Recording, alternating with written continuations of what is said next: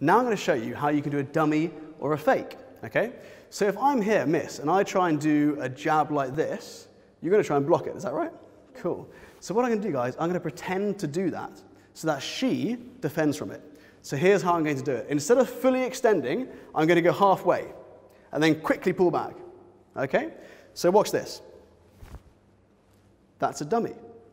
If I go all the way, that's just a normal strike, a normal technique. So from here, guys, I want you to practice this.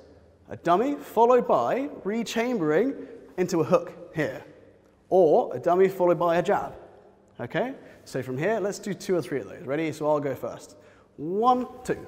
And now you have a go. Same hand. This hand here. Good. So you're trying to trick your opponent by making them think you're going to do something and doing something else. Here's another example. Okay? Or here. Does that make sense, miss? Have I go again? Perfect. So that's a dummy or a fake, guys. Tricking your opponent. Are you guys ready to practice that? Yes. Cool. Phase your it's Kenya, fighting position. Kia, Kia. Okay, Karim, you can go first, sir. Front hand.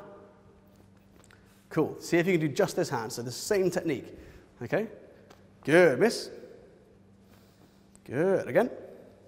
Good. Amazing.